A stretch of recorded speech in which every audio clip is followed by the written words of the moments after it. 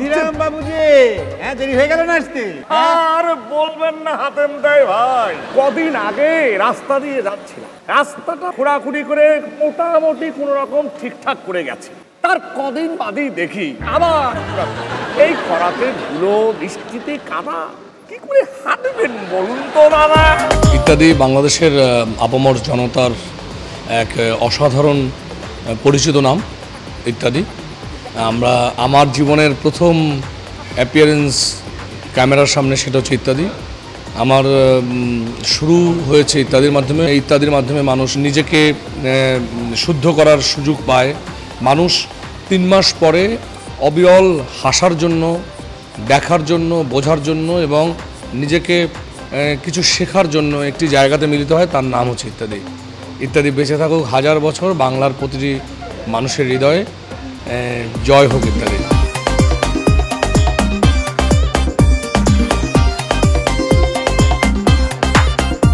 কিন্তু নিধিরাম বাবু আপনি রাস্তার যা কথা বললেন এ তো সাংঘাতিক অপচয়। কি এক অদ্ভুত সমন্বয়হীনতা। একদম ঠিক ইত্যাদি সম্পর্কে বলার আগে ইত্যাদির যিনি স্রষ্টা তার সম্পর্কে বলি। হানিফ সংকেত সংকেত দা one of the most talented guy I have ever seen উনি আমরা যেমন আজকেও, আমি আর চঞ্চল ভাই যখন আমরা এই প্রোগ্রাম অ্যাটেন্ড করার জন্য এখানে আসছিলাম, তখন আমরা বলা বলি করছিলাম যে উনি কিন্তু ফিউচার বলেছেন, কিছু কিছু জায়গায়। আমরা যেগুলো ছোটোবেলায় দেখে আমরা অনেক মজা পেয়েছি, হেসেছি। তো ওগুলো দেখা যাচ্ছে যে অনেক বছর পরে এসে সেগুলো সত্যি হয়ে গেছে।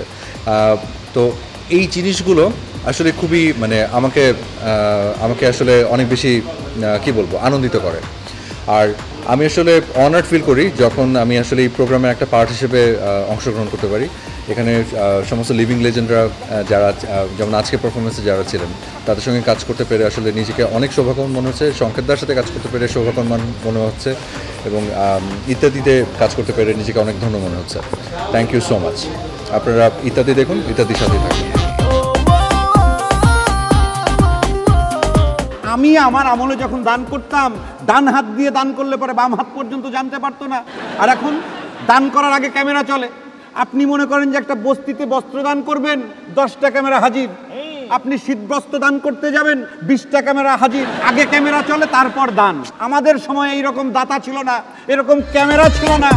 আসলে ইত্যাদি সম্পর্কে বলার কিছু নেই। শ্রম এবং মেধার সংমিশ্রণ, আমরা প্রত্যেকটা ইত্যাদিতে সেটা দেখতে পাই। এবং আমার মনে হয় যে বাংলাদেশের সবচাইতে জনপ্রিয় অনুষ্ঠান হচ্ছে ইত্যাদি। মনে হওয়ার কোনো কারণ নেই, আসলেই সত্যি। তা এবারের ইত্যাদি, ঈদের স্পেশাল ইত্যাদিতে আমরা পারফর্ম করেছি, আপনারা দেখবেন। আমরা আশা করি যে আপনাদের ভালো লাগবে।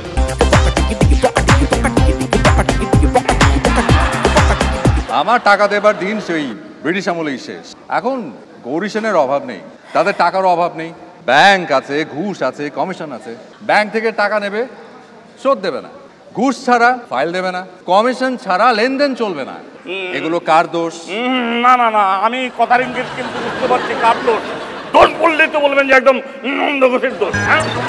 আরে আমি এসব কিচ্ছু জানি না, ঈশ্বরই কি বা কিচ্ছু জানি না। আমি খাইনি ছুইনি ধরিনি কিচ্ছু করিনি।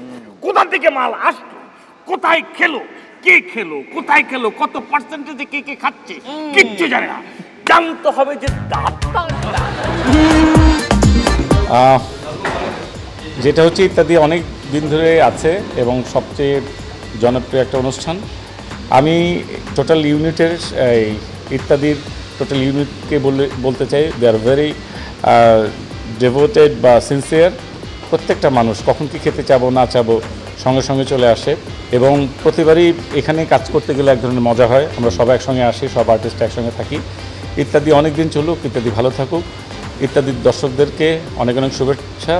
আমাদের কিছু ভুল ত্রুটি যদি হয়, আপনার ক্ষমা সুন্দর দৃষ্টি আর সর্বশেষ একটা কথা আমি যোগ করি, যে এই যে সংকেতদার এই ইত্যাদির মাধ্যমে যে সামাজিক দায়বদ্ধতার জায়গাটা উনি দেখান, যেখানে আমরা আসলে সঙ্গী বা একটু ওনার সঙ্গে কাজ করলে পরে সেটার অংশীদার হই। এটা অবিরত চলতে থাকুক এবং ইত্যাদি বেঁচে থাকুক। সংকেতদার জন্য অনেক শুভকামনা।